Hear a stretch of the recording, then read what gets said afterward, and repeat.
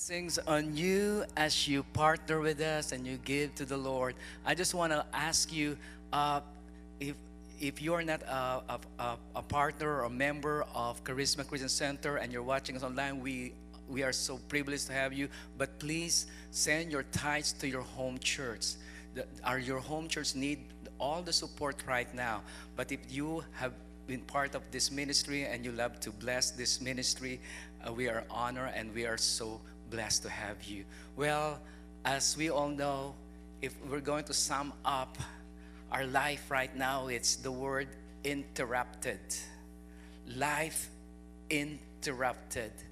And it seems like all of us today are experiencing what they call quarantine, right? The word quarantine says is a restraint upon the activities or communication of persons or the transport of goods designed to prevent the spread of disease. That's why we are being quarantined to restrain us from the usual normal of life, of, of we're now doing social distancing, and the way we communicate now is through social media, through technology, and the transferring and the goods. Restaurants are closed, and all, and almost everything is being closed down. So you know what? This yesterday, I was really praying and to Jesus, Lord, what do you want me to share? Uh, because I want to have a, a, hope to bring to the people of the Lord, to everybody who will be tuning in live here through Charisma Seattle. And then, you know what? I was watching this news about Tom Hanks and his wife Rita Wilson. And so I came up with this message from quarantine to quarantune. Would you say this with me? From quarantine to quarantune.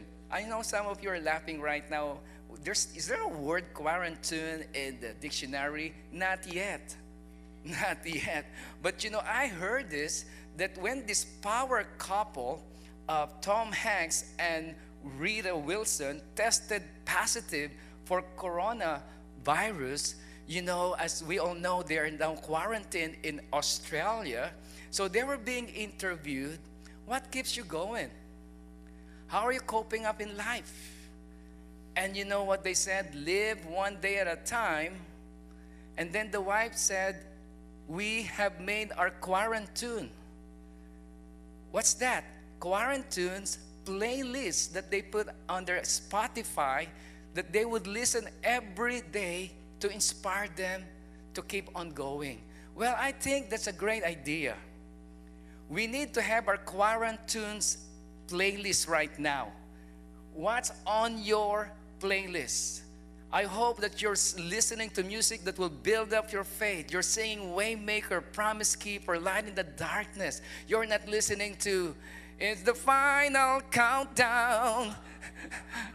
or, or you're not listening to those songs of the end of the world. Because you know what? What's dangerous than the coronavirus? Let's just be honest to all of you. It's the spirit of fear. I'm telling you, this coronavirus will be gone but if the spirit of fear is in you, I'm telling you, the devil is winning. Because the Bible says God has not given us a spirit of fear, but power, love, and sound mind. So we battle the spirit of fear by, by speaking life, by praying, by, by thinking positive, of course, by, by keeping our hands washed all the time and, and doing all those things that we need to do. But this is a battle between spirit, it's the Holy Spirit versus the spirit of fear. And last thing I know, the Holy Spirit is always winning. Amen, somebody. So I challenge you from quarantine to quarantune. That is also in the Bible because we are now in the book of Acts. In Acts chapter 16, I want you to read the Bible with me. And for those of you who are watching us online, I really believe in reading the Bible and speaking it because faith comes from hearing and hearing the word of God. So as we flash the, this on the screen, the scripture, can we all read this together? They were thrown into prison and they put them in the inner cell and fastened their feet in the stocks. About midnight, Paul and Silas were praying and singing praises to God, and the other prisoners were listening to them. That's in Acts chapter 16, 25 to 20. That is where I get the message from quarantine to quarantune. Did you notice? They were quarantined in prison. They were locked down. They are uh, uh, restrained. They cannot do anything. And it says about midnight. Could you just say, every one of you, let's say it about midnight. You know what is something about midnight? Isn't it true about midnight? That is when the devil comes the hardest, his attack comes the hardest, when we cannot go to sleep. We're, we're, we're thinking about what will happen tomorrow. You're thinking about, will I still have a job next week? You're thinking about your family. You're thinking about the bills that you have to pay. And the voice of doubt and negativity is so powerful. And you could choose to, to, to whine, to complain, to get mad, and, and to panic and to be anxious. But these people, Paul and Silas, they were quarantined, they're beaten, and they're under in the, inside, inside the dungeon, suffering for preaching the gospel. They choose to worship God. They choose to pray over panic. They choose to praise God in the midst of that circumstances of life. And we all know when praise ascends, that when praise ascends, the presence of God descends. Come on, somebody. The Bible says God inhabits the praises of His people. God came down on that dungeon and then there was an earthquake. There was a breakout not an outbreak. There's a breakout and god delivered them from their quarantine from their lockdown and they were set free. And i'm believing with all my heart yes we believe in science. Yes we believe in those doctors. Yes we believe in in common sense. But i still believe the greatest need right now is a divine intervention from god on our behalf. Come on somebody. It's a divine intervention from our god to stop and to shut down this virus. And I'm just uh, excited because you know what? Out of this, the gospel is going out to every corners of the world. So the point is this my attitude is the only thing I have complete control over. That's why we're scared because we used to be in control. We used to know it everything. We have planned out our life. We have made our, our plans for summer. We have made our, our, our plans for the next year. And now all of a sudden it was stopped and we it's beyond our control. But you know what you have in, in control right now? Your attitude. Your attitude is something that you choose. Like Paul and Silas, they choose faith over fear. They choose to trust Jesus in the midst of that quarantine moment and turn it into quarantunes and started singing worship to God. And that's what the Bible says. They experience power, they experience love, they experience sound mind. You know, I really believe in my life as we go through this crisis and we allow the Holy Spirit to enter into our heart, we will have power to live. Yes, it's gonna be hard, but we're not tapping out. We're still standing and still moving and doing what God has called us to do. We will have that power to live. And then, when the Spirit of God is moving in you, you will love others. It's not time for you to be selfish. You will be loving others. Can I ask you this as a suggestion? This is what I'm doing whenever I feel I'm a little bit worried and a little bit concerned and a little bit anxious. You know, it's a sign for me to call somebody. Because when I'm thinking about me, about me, about me, I get sad, I get lonely, I get stressed, I get afraid. So whenever I period, I experience that, I will just text somebody, hey, how are you doing? Do you need anything? Do you need prayer? I will shift my focus to others when then a moment I do that, I started ministering, and then I don't think about myself, and I say, "Oh wow, God is taking care of us." And then I will have a sound mind. I will not be crazy. I will not, and because the enemy, this is the enemy. He wants to rob you of your power to live, to make you paralyzed, to kill, to steal and to destroy.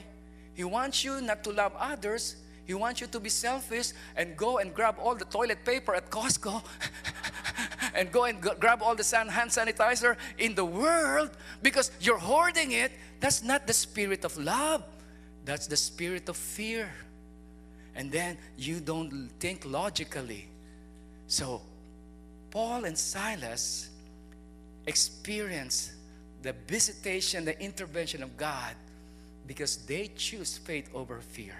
So here's the big idea of my sermon or my short message today.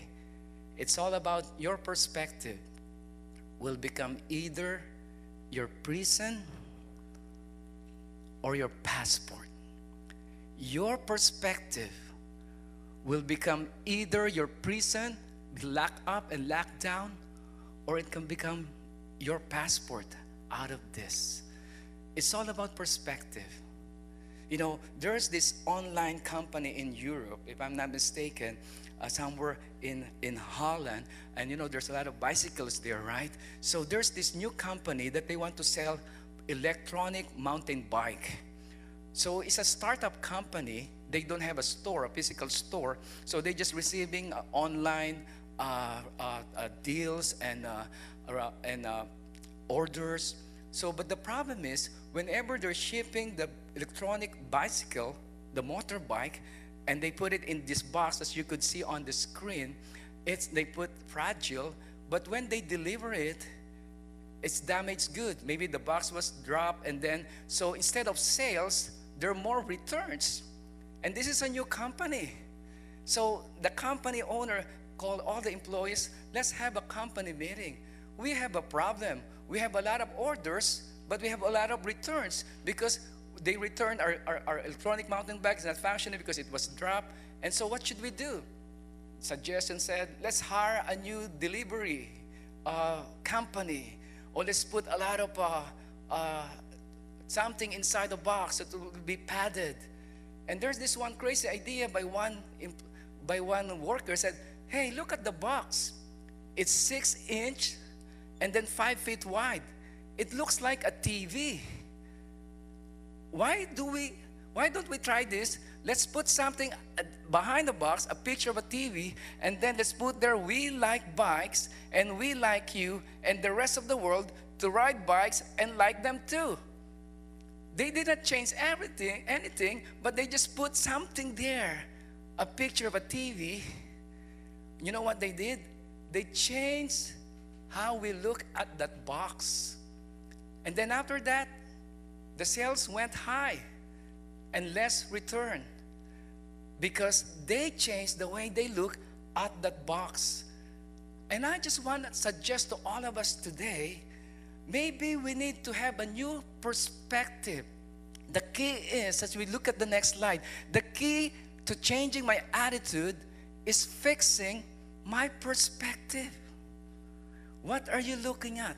Ask the person next to you, but don't touch the person next to you. What you're looking at. what you're looking at, right? Because here we see three perspective changes that Apostle Paul and Silas did in order for them to come out of that, that, that, that problem or trouble that they were going through. Number one, we all need a new perspective on closed doors. Everybody say this with me a new perspective on closed doors. So here's the story Apostle Paul and Silas now going to Europe. This is their first journey out of Israel bringing the gospel now to Europe. Remember the promise of God you will be my witnesses in Jerusalem, in Judea, and Samaria, and to the ends of the earth. Now they're going to the ends of the earth. They crossed the Mediterranean Sea, going to Europe to bring the gospel. But here's what they encounter they encounter some closed doors. I just want you to read with me. Paul and his companions traveled throughout the region of Phrygia and Galatia, having been kept by the Holy Spirit from preaching the word into the province of Asia. When they came to the border of Mysia, they tried to enter Mysia, closed door. They tried to enter Bithynia, closed door. But the Spirit of Jesus would not allow them to. So almost all of the places that they want to enter in to bring the gospel, closed door. Maybe not welcome, maybe there's a problem there, but in one, in, in it's just an ex- closed door. So that's very frustrating. But they continue. Then one night, the Bible says, during that night, Paul had a vision of a man of Macedonia. If you ask me where's Macedonia today, that's Greece. Now they're bringing the gospel to the Greek coast. A man of Macedonia standing and begging, Come over to Macedonia and help us. And after Paul had seen the vision, we got ready at once to leave for Macedonia, concluding that God has called us to preach the gospel to them. But I want you to see there were some closed doors before they hit some open doors. You know what we're having right now? There's a lot of closed doors. No NBA season, no no no uh, XFL, the new football, or there's new there's new March Madness, and uh, restaurants are closed, travel is restricted, and everything is like being closed right now. But I still believe when something is closed, God has a window. Come on, somebody. Like what doing right now. Closed door in the church, but the church is not about the building, it's about the people. And now we are becoming the church. We're going from house to house. Remember what the Bible says? From temple court to house to house. So when the temple court is closed, the Bible says you bring the gospel house to house. God is opening a new door of ministry. You know, I like what JFK said before, the late JFK. He made this popular. He said in the Chinese, I'm not sure if it's correct, but he said in the Chinese, the word crisis has two characters. Would you say this with me? Danger and opportunity. Everybody say danger and opportunity.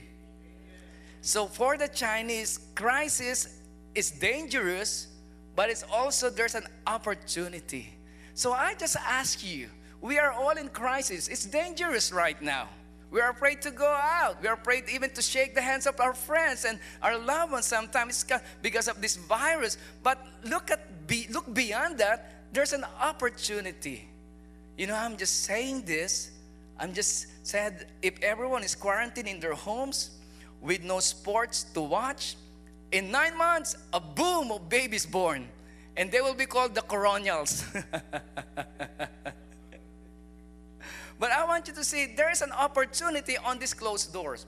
World War II, C.S. Lewis, the famous C.S. Lewis, during World War II, England is being bombed by the Germans and they're hunkered down, closed down, quarantined in their homes. No one is going out because of the war. But you know what this young man did? He started his first radio broadcast during World War I, he began going to the airwaves, delivering a message of hope. And you know what? Out of that radio program, C.S. Lewis wrote that book, the classic. As we go to the next slide, it's called Mere Christianity, entitled The Crisis That Created a Classic. Did you notice that? The crisis that created a classic. Because for this man, he saw this as an opportunity that he has a captive audience. No one is going out of the house. So he spoke to them via radio. Remember our hero Apostle Paul that we're talking about today when he was locked down in Rome. This is the place where he wrote the, the epistles to the Timothy, if you go to Rome, you still see that Mamertine prison. When he was put there under the dungeon, he was locked down, but he was not restricted. He wrote the scripture, and we have now most of the books written in the New Testament. So why don't we look at this COVID 19 has a gift for us? I got this from uh, Edgar, and he posted it. He said, you could have a gift of time, right? The gift of time. How many of you are complaining? I have no time. I'm busy. Now you have all the time in the world. now you're bored. you have all the time in the world, right? You have the, all the time in the world. Now you can no longer complain, I have no time. You now have all the time in the world. And now what about this? You have time to play with your kids, right? Time to play with your kids. You could play Scrabble, you could play tic-tac-toe, or, or you could just do anything. You could just hang around with your family and play. What about this? You have now a lot of time to read a book. The other day, I saw my daughter reading a book, and Daddy, this is my, my, my plan during this quarantine season. I'm going to read a book. And I said, Go for it. That's good. And also, this is the best time for you to reflect to think about your life, your dreams, and your passion. Crisis is a way of rearranging our priorities. No more sports, no more restaurants, no more bars, no more traveling, but you have your family. You're still alive. It means God has a purpose for your life. This is a perfect time for you not to be distracted and just to think, about what's more important. And can I suggest this to all of us?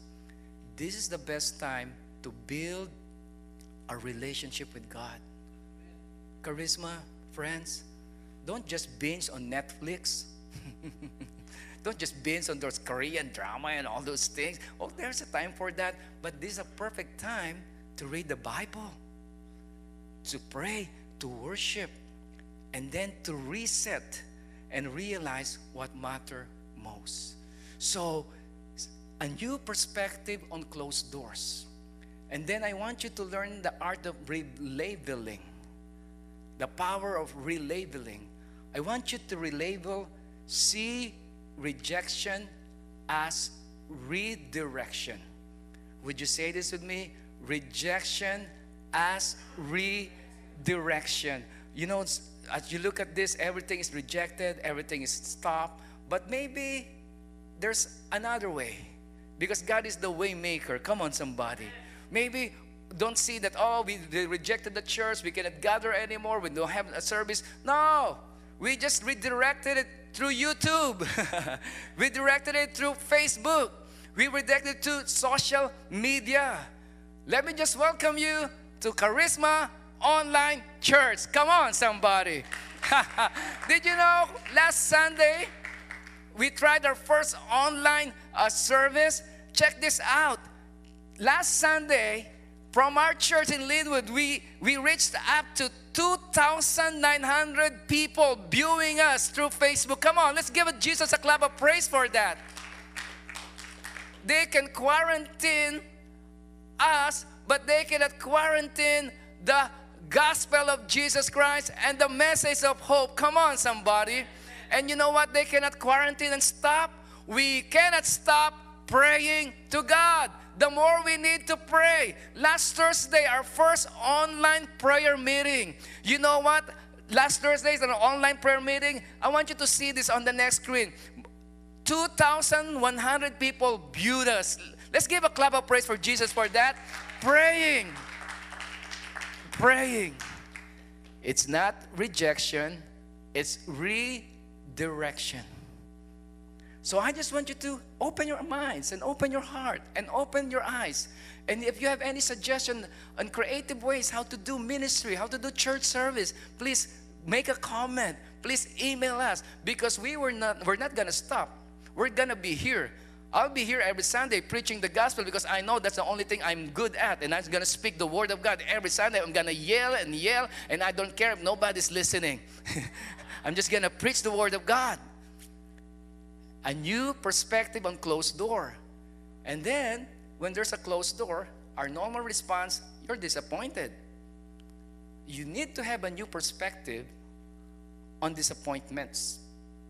So if you're disappointed right now, get ready. You know, sometimes it can be your divine appointment with God. So imagine they crossed the Mediterranean Sea. They went to Mysia, Bithynia, it's closed down. And then God gave a vision to Paul, go to Macedonia. So they went to Greece. So they're excited. God spoke to us, go to Greece. This is the place we're going to speak the gospel and share the word of God. When they arrived at, in Greece, they were disappointed. Let's check this out.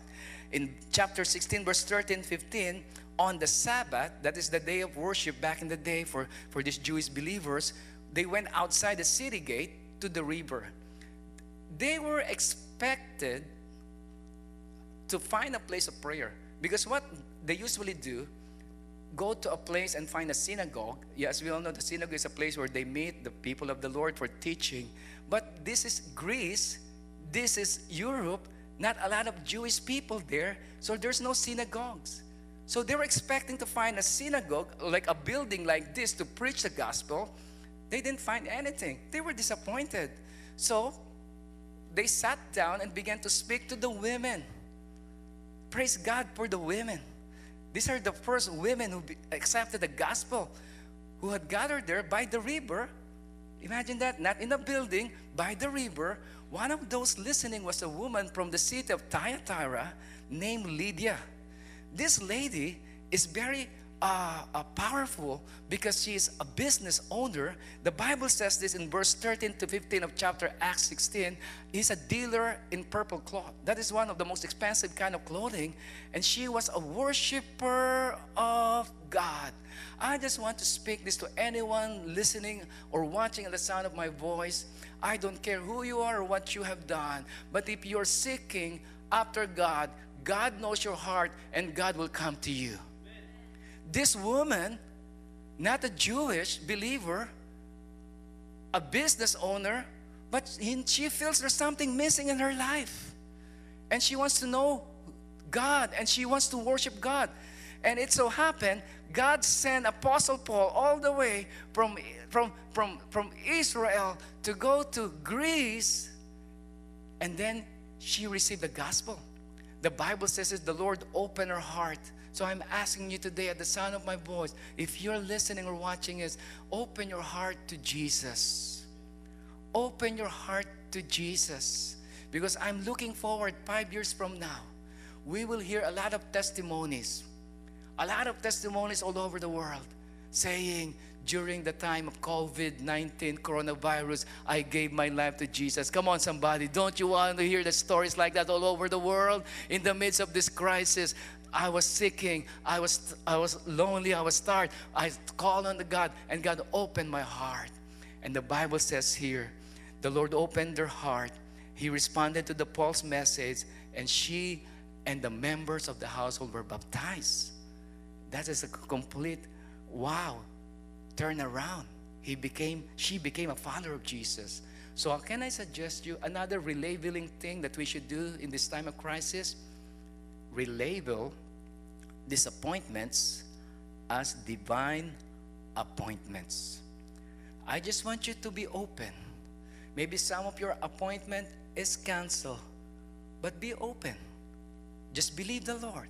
Maybe God will lead you to some divine appointments because Paul was locked down in Rome. You know what? The gospel went to Caesar household. How did it happen? Because Paul is locked down and there are two Roman soldiers guarded, guarding him. So Paul was having a captive audience. This is the first cell group inside the prison. And this was Paul's uh, way of doing the ministry. While he was locked down, he's talking beside those prisoners. You know what happened? It went all the way to Caesar's household. How do we know that? Let's read the Bible. Philippians 1, verse 12 to 14. This is what Paul's saying. Would you read this with me? Now, I want you to know, brothers and sisters, what has happened, that bad thing that happened, the lockdown, quarantine, put in prison, to me has actually served the advance of the gospel. As a result, it has become clear throughout the whole palace guard, the elite guard of Caesar, some of them became Christians, and to everyone else that I am in chains for Christ. So I challenge you, relabel, see disappointments as divine appointments. And last thing I want you to see a new perspective on hardship. I'm just telling you, as a friend, as a pastor, it's not going to be easy in the coming days, in the coming months. It's going to be hard. All of us will experience some hardship. It's global, it's everywhere.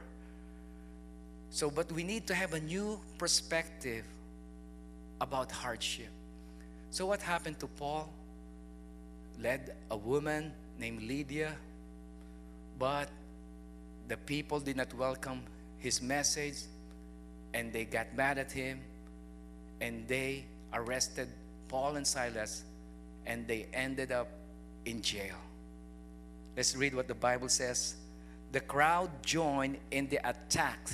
Imagine that. The crowd joined in the attack against Paul and Silas.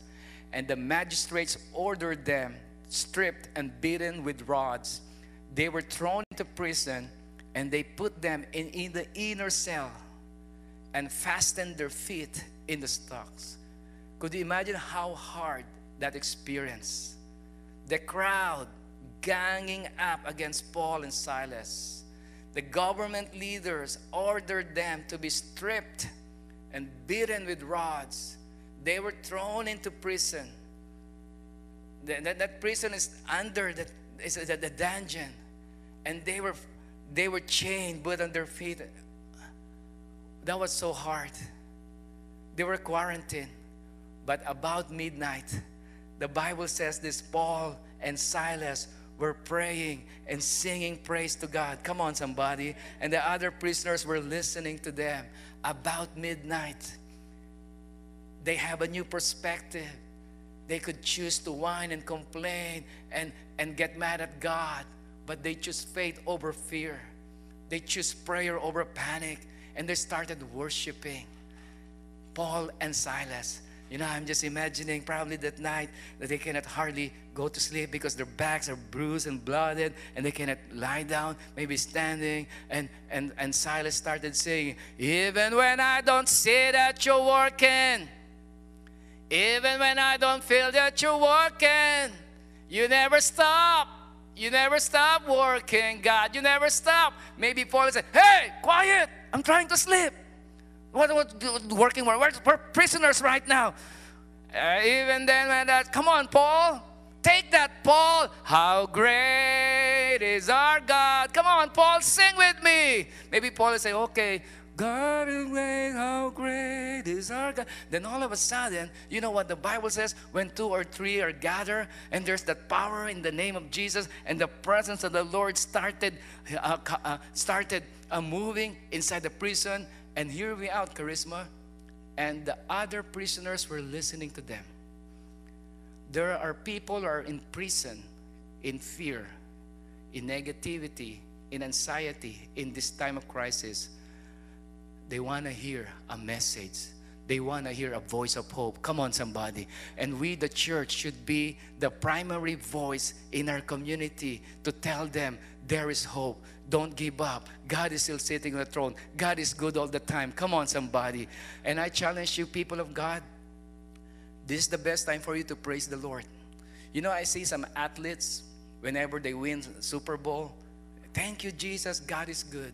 You know, it's easy to praise Jesus when you win a Super Bowl, when you are a champion. But what about now? When there is no more sports, when there is no more limelight, this is the time when you could really tell what you have in your heart. Come hell or high water, during the coronavirus or after the coronavirus, I'm gonna praise my Lord. I'm gonna serve Him. Come on, somebody. I'm gonna say, God is good, not even in the high time, even in the down time, even in the mountain or in the valley. I'm gonna say, God is good. I'm gonna lift my voice to God. Like what Rita Wilson did, made a quarantunes, a playlist of songs that they listen every day to help them cope up with this virus. So I challenge you what's on your quarantunes? What's on your playlist? Every morning, the first thing you need to do is go to the Word of God because the first 10 minutes of the day is the most important. It will set the tone of your day. So the first 10 minutes, instead of going to news, go to the Bible. You know, I like what Louis Giglio said.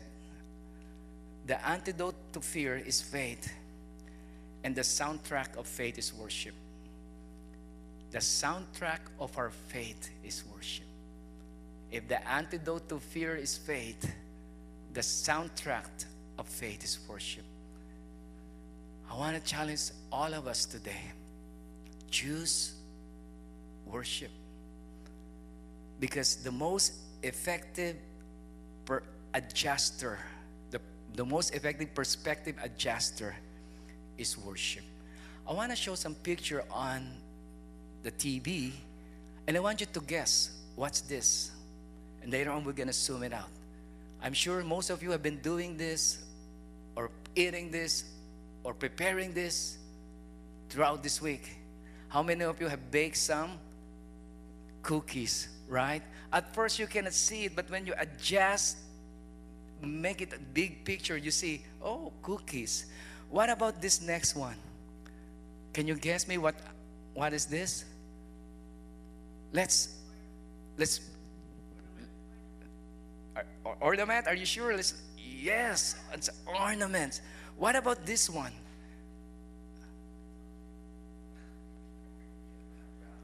Do you think it close? Let's check it out. What's this? It's Ronald McDonald, right? What about this one? Can you guess what's this?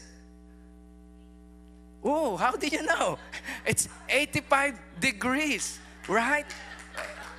You know, this is one of our ministry now because we want to be on the front line. You know who's on the front line of this calamity? The nurses, the doctors, and the medical health professionals. Can we, can we give a shout out to all the doctors and nurses? We love you. We're praying for you. God protected you. God give you strength. You know, as a church, we want you to know we're praying for you and we're here for you. So every week, I'll be going to different hospital and to bring 85 degrees to cheer you up to, to the nurses. So this this uh, last Thursday, the Lord put in mind, let's me let's visit my hermano Luis, who is in the front line in, in Swedish Edmonds. And, and I said, can I come? Okay, pastor. And then I, I brought some poor boxes of 85 degrees, and they were so happy. They gave it to the nurses, and I saw the tent where they testing the the the coronavirus and things like that. And for them, that kind of gesture is a big big help. Come on, somebody. What about this one? What's this? It's a diamond ring, right? Let's see. Who's this hand? It's my beautiful wife. I love you, Sharon. Worship is the best perspective adjuster. Because if you look at right now, you look at life and you look at like coronavirus, coronavirus, coronavirus, coronavirus, coronavirus, coronavirus, coronavirus, you will be afraid. And then you, you widen your perspective. And you will find that God is bigger than coronavirus. Check this out. In the dictionary, I would like to ask the worship team to get ready. The word worse in Merriam Webster Dictionary, and you want to prevent from worse to getting worst worse, worsen, worser. Check this out. In the middle of worse, God inserted this word worship. So if you want your life to prevent from worse to getting worst, you insert worship. Isn't that what Paul and Silas did? To prevent from getting worse to worst. While inside the dungeon, they choose to worship God. They just to declare who God is. So I want to ask all of us right now, even when you're watching online, to take a moment and let this be a holy moment between you and God. We're gonna sing this wonderful song, You Are Here. Just one thing I want you to understand, church. Three things to remember when the going gets tough. Three things to remember when the going gets tough. There are three things I want you to remember. Look at the last, last slide. You are never out of God's sight. You are never out of God's reach. And you are never out of God's care. I want you to say that. You three things to remember this week. When the going gets tough, you, everybody say this with me. You are never out of God's sight. You are never out of God's reach. You are never out of God's grace. Stand up on your feet. If you're watching in the living room, wherever you are, you just have a moment like this. Give this five minute window of a time for you to insert worship, to prevent from worst to getting worst. Insert worship. Forget about that problem. Forget about that virus. Forget about that situation. Lift your hands up in the air and declare who God is. And let's believe God. Hallelujah. Let's send praises to God. And God will descend and will, will, will set us free from chains of fear, from chains of doubt. And He will open the prison doors and He will open the door of opportunity for your life because worship brings the presence of God in your life.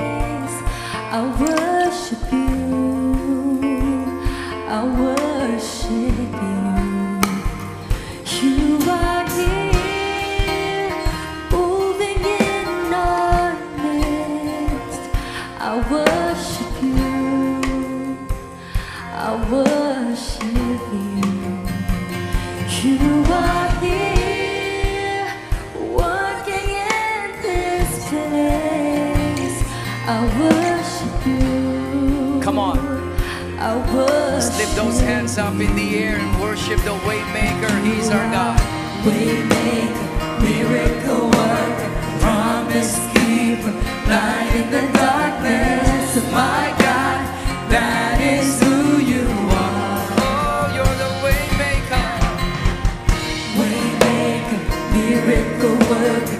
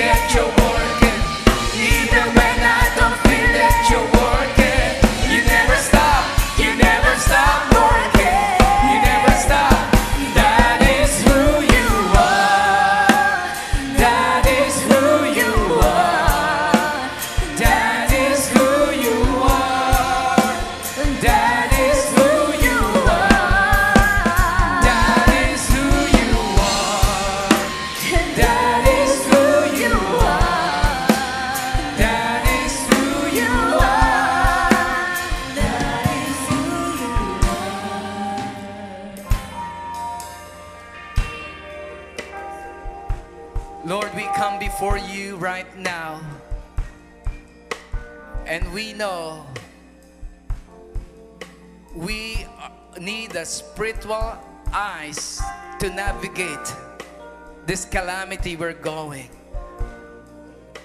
If we just use our eyes of what we feel, what we see, we're gonna panic, we're gonna be afraid, we're gonna be anxious, and then the spirit of fear has conquered us and will make us slaves to fear.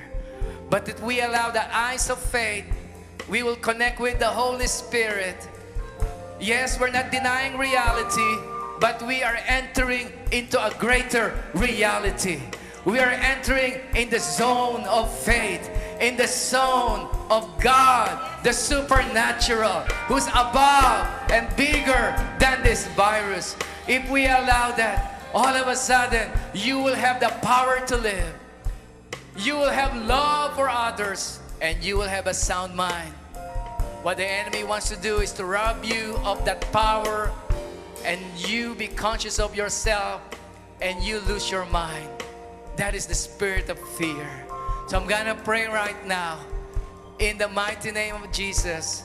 If you have not received the Lord as your Savior and Lord of your life, this is the best time for you to open your heart and to accept Him and let Him enter in because God is near you. He's just a prayer away. You can never experience something without the presence of God in your life. But if you're not a believer, you need to accept that and embrace Him. You pray this prayer with me. Say, Dear Jesus, I'm scared. I don't know what to do. But I know you're not scared. And I know you know what to do. And I look up to you. And I accept you as my Savior and my Lord.